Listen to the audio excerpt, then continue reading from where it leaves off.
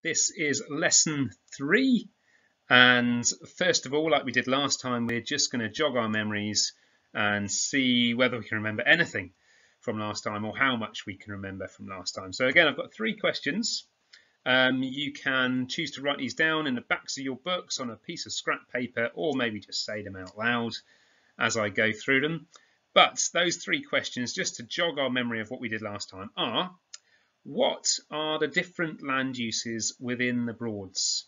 Now there are lots of them, so if you can name several, that would be great. As many as you can would be excellent. Question two, how many Broads are there?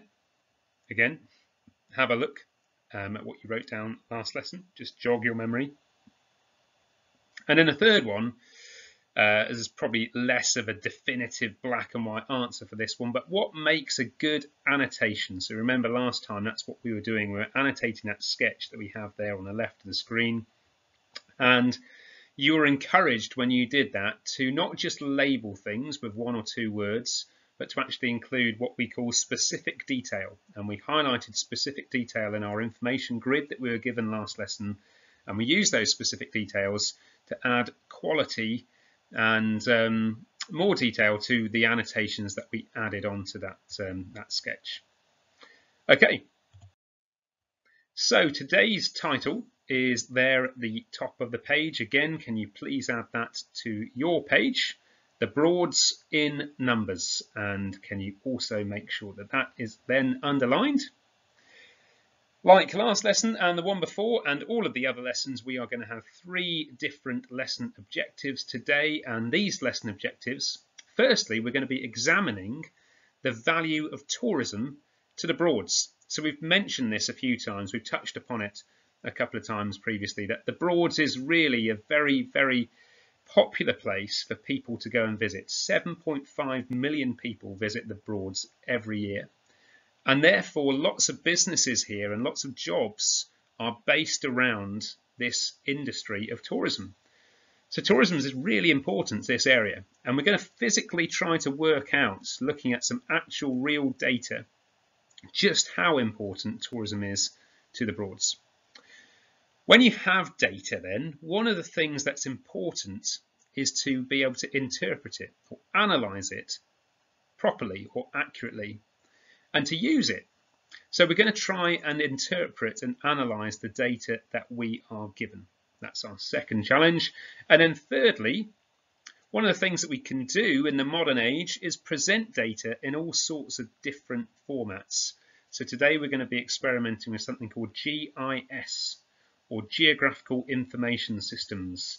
And we're going to be using the data that we're interpreting and we're going to map that data on an actual map of the Broads.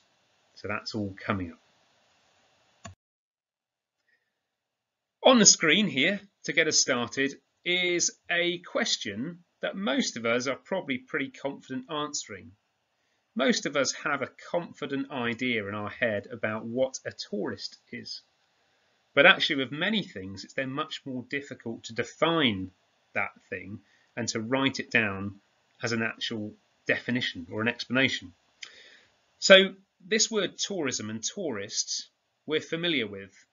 So hopefully we should have an idea about how we might define that term. So I'm going to ask you to do that to start off with as your first challenge and also limit you to 20 words to define the term tourist. So write the word tourist and then a little dash and next to it in less than 20 words, not just one word, but you know, 15, 16, 17, something like that, in less than 20 words, try to come up with a simple description or definition for what we mean by the term tourist. You can pause me now. When you're ready, press play again. Okay. Here we go. This is a definition that you could choose to use. Have a read of yours. Does it kind of fit along with the one that we've got here? Um, it's quite complicated. Sometimes it's quite difficult writing definitions. But in terms of what we mean by a tourist, a tourist is a person who is generally visiting a place because they want to, for pleasure, not just for business or not because they've been told to, but they're doing it for pleasure, often on their holidays. And you're a tourist in somewhere which is away from your local area. Now, there are kind of more details you could go into that, you might think about, well, how far away do you need to be going to become a tourist? Is five miles away away from your local area? Well, don't worry about that just now. That's something that perhaps is, is a debate for another time. But this is a, a definition that we can kind of simplistically use to get our heads around what we mean by a tourist. So someone who is visiting a place for pleasure, who is in a place that they don't live in and is away from their normal locality. That's what we mean. So I'm just going to read through the bits of information that we've got at the top of the page here. But again, I'm going to use this as the time to prompt you to um, print off and access the worksheets for today's lesson. The first one should look like this. And those worksheets are under the, the name The Value of Tourism to the Broads. Um, if you can print those off and have this one in front of you.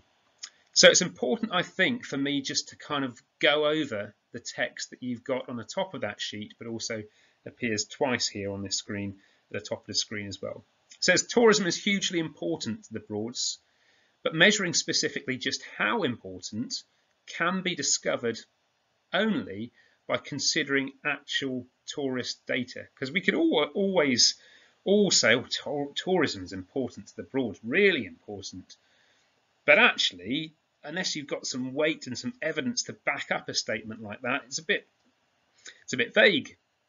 So generally where we can, we try to use data and evidence to really justify and support statements that we make. So we're saying that tourism, yeah, is really important to the Broads, but we're actually going to say specifically how important it is by backing it up with some data and some evidence.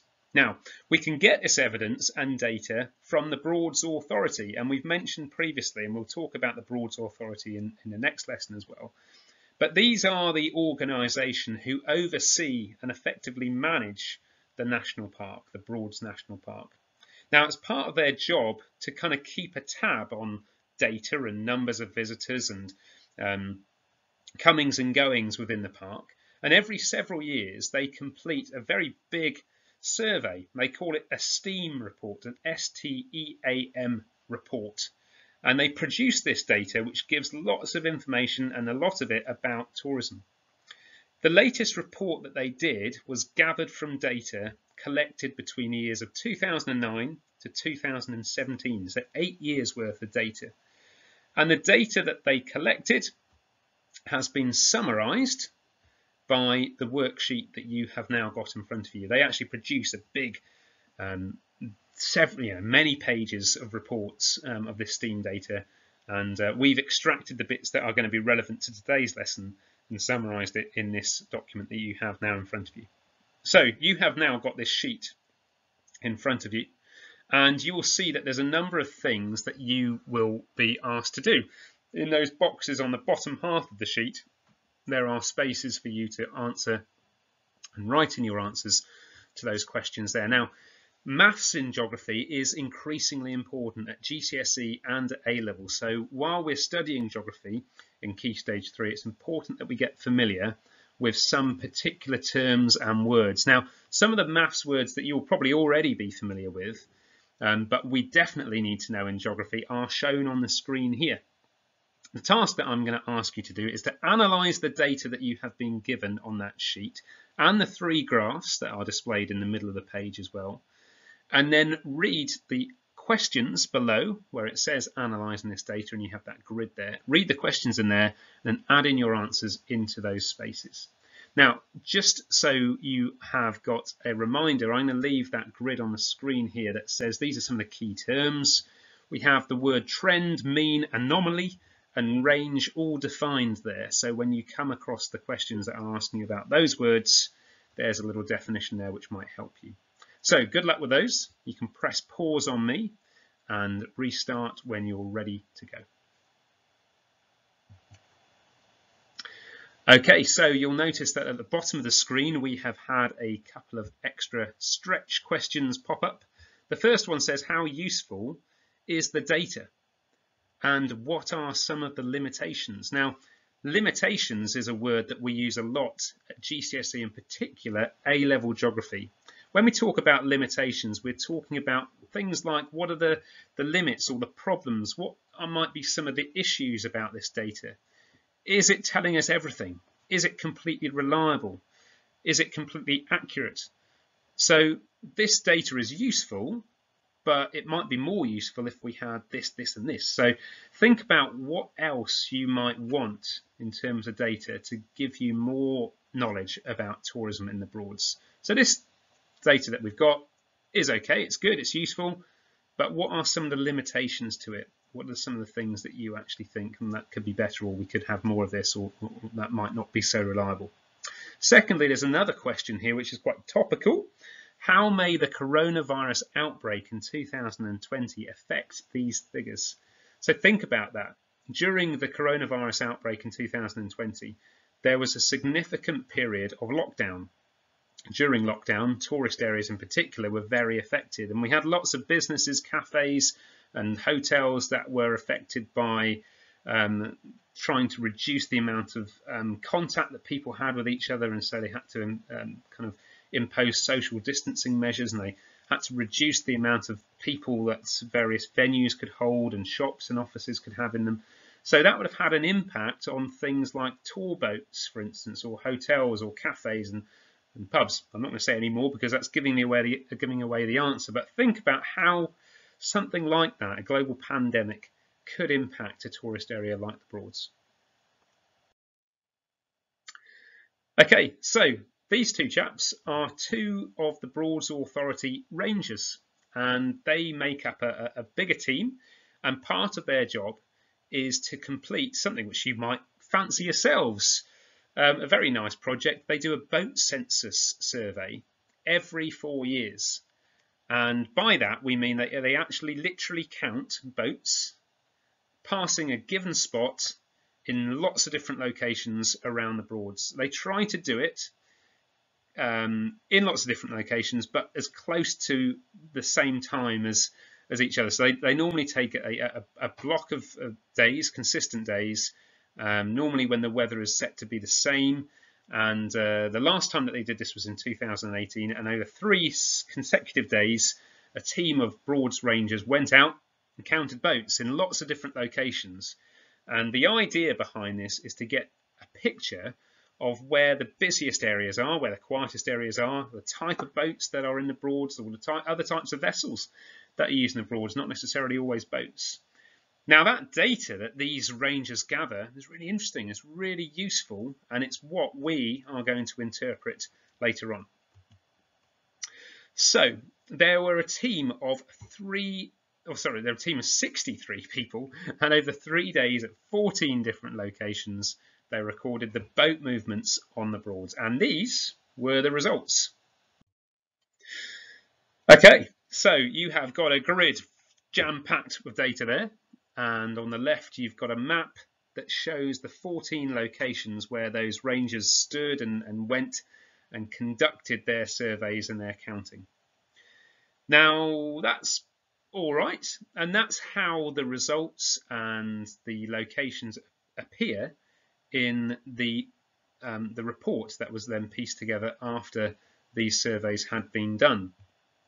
Now, we mentioned earlier about this word limitations, and we are talking about trying to kind of consider how useful something is and perhaps how something might be made better.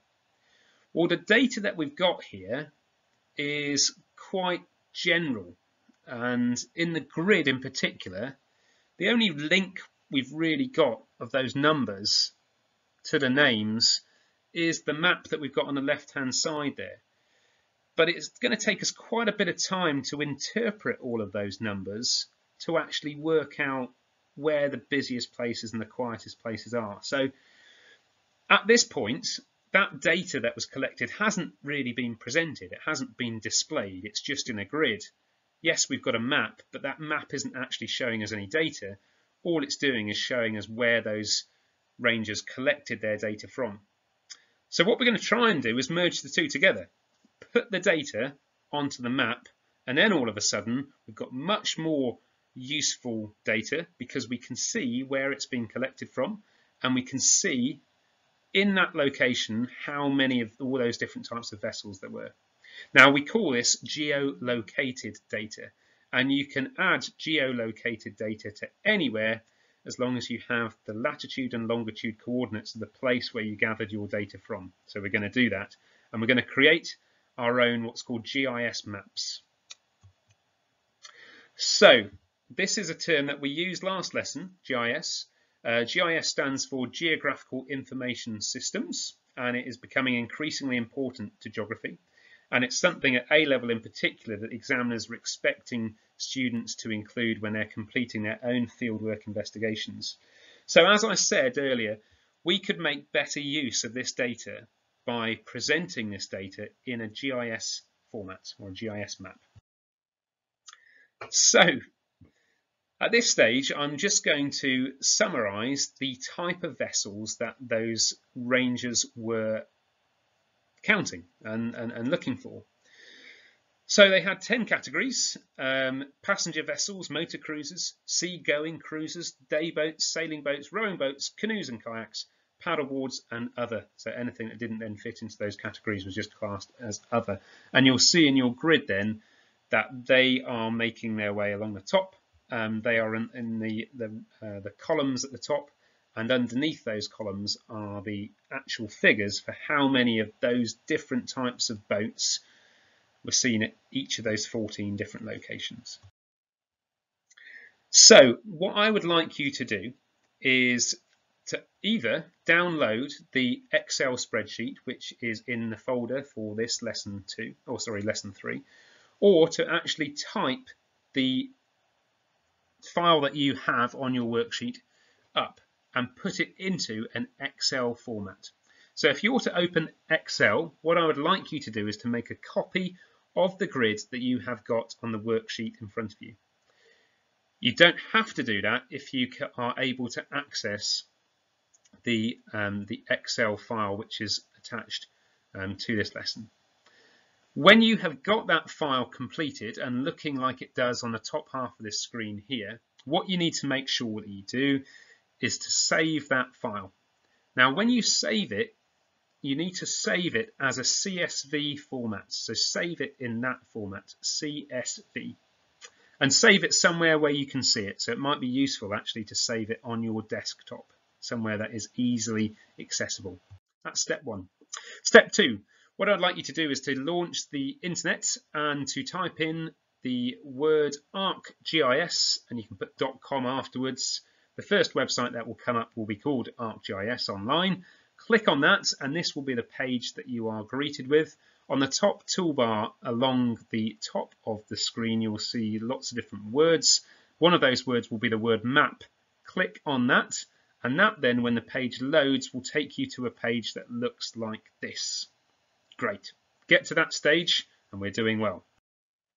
Step three, what I'd like you to do is just kind of minimize your screen a little bit so you can see your desktop and you can also see the internet page that you've just opened. Find the Excel file that you saved earlier, click on it, and then hold and drag it onto the web page that you've just opened. So literally drag it from your desktop and drop it onto that map on the web page of the ArcGIS browser that you've just opened.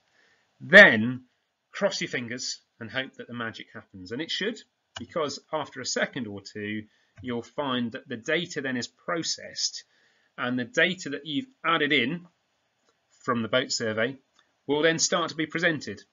And the numbers of the vessels that you have added in will be shown on the map here by what we call proportional symbols. On the left-hand side of the screen, you'll be able to change between the different data that is shown. So the first one that is shown will probably just be um, the first column that you put into, um, into your, your spreadsheet. You can change them between the different things. So you can look at paddle boarders, you can look at kayaks, you can look at the day boats, etc. You will also find on the left-hand side of the screen lots of different um, kind of attributes that you can play around with. So you can change the shape of those symbols, you can change the size of them, the color. You can even have symbols to represent the different um, numbers that you've got as well. You can change the base map also in which your data is displayed upon. So have a little fiddle around. That's what I'm suggesting here on stage four. So explore the functions on the toolbar to display different data sets on a variety of different base maps and in different ways. Okay, so have a little play around with it and you'll be able to see that you can do things like heat maps and uh, certainly change the different base maps that you have to.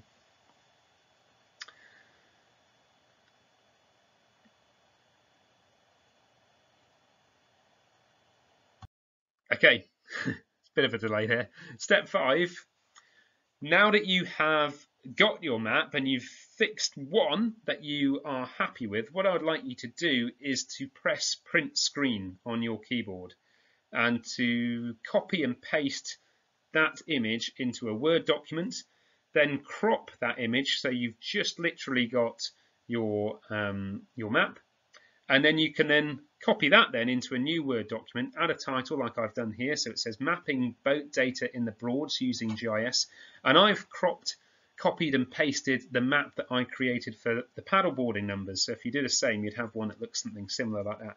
Make sure you take the key as well. You can see on the left-hand side of the screen on my map there that I have got the key, and that tells me what each of the different proportions represent. And then below the map that I paste into my Word document, I've left space for four different things. So you can see on the instructions on the right hand side of the screen here, it says print screen any one of the maps that you have created. Copy and paste it into Word, crop the image, add a title, and then, crucially, this is the harder part, analyze what your map shows. Now, you could choose to cover anything, but the four things suggested below are quite a good idea. So it could be that from your map, by looking at it, that you can pick out the most popular or the busiest location, which will be shown by the biggest bubble or the biggest symbol, whatever it is that you've chosen. The quietest location will have the smallest symbol. So again, use specific place names to say Wroxham, for instance, was the busiest location in terms of paddleboarding use. Um, Beccles was the quietest area in terms of paddleboarding use, with the lowest amount of paddleboards recorded. The other thing that you could also pick out is the overall trend or pattern. So for instance, are there generally more vessels in the north of the Broads and you know, top of the picture, or are there more on the south? Are there more towards the coast? Does it get less as they go inland? So pick out general trends or patterns. There might not be any that are obvious. And again, you could say that if that's the case. And finally, how do these results compare to the other vessel groups? So if we're saying that the paddleboarding here, for instance, there's more of them in the north of the Broads, is that the same with all of the other vessels? So you might need to go back at some of the other maps and have a look at the other maps and say, even though paddleboarding is more popular in the north of the Broads, Actually, my results have shown that largely there are more vessels in the south. So try to interpret the results that you've got. When you've done that and you've either completed the four boxes that I've shown as an example here, or you've just done four separate bullet point answers, print your page and you'll end up with something really, really modern and very high level in terms of geography presentation. If you can master these skills at Key Stage 3, this is fantastic because these are the skills that really impress A-level examiners.